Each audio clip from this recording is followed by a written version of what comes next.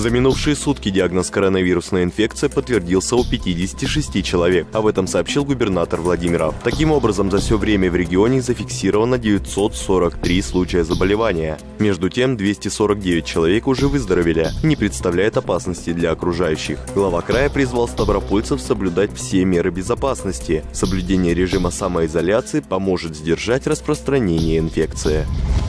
Губернатор Владимир Владимиров отметил волонтеров, которые в эти непростые дни помогают нуждающимся и участвуют в доставке продуктов. Жители края получили уже 177 тысяч бесплатных продовольственных наборов. Такую поддержку оказывают многодетным ставропольцам, малообеспеченным пенсионерам, одиноким матерям, семьям с детьми-инвалидами и школьникам-льготникам. Губернатор подчеркнул, доставка гуманитарной помощи – это кропотливый труд. Он заслуживает уважения и благодарности.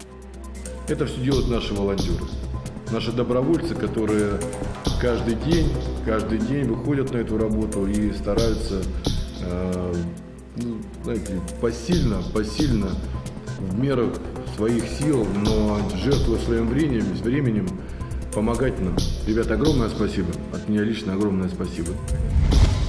Жители Ставрополья получат социальный выплат за май до 10 числа. Речь идет о всех краевых мерах поддержки. Это пособие многодетным семьям, выплаты ветеранам труда, компенсации платежей за услуги ЖКХ. Общая их сумма составит почти 600 миллионов рублей. Деньги уже получили больше 360 тысяч человек. Также в Краевом министерстве труда и соцзащиты рассказали, что в течение грядущего месяца начнется выплата пособий на ребенка от 3 до 7 лет.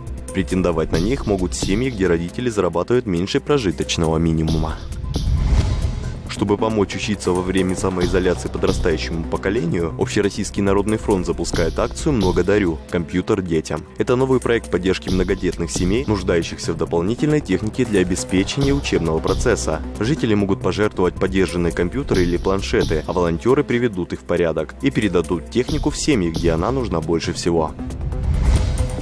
Город побратим Ставрополя Пазарджик тепло встретил поздравления с Днем Победы. Праздничные баннеры в преддверии 75-й годовщины окончания Великой Отечественной войны отправили в Болгарию из краевой столицы. Отметим, что инициатором установки баннера в городе побратиме стал губернатор Владимир Владимиров. Он уточнил, что такой подход укрепит дружбу между муниципалитетами.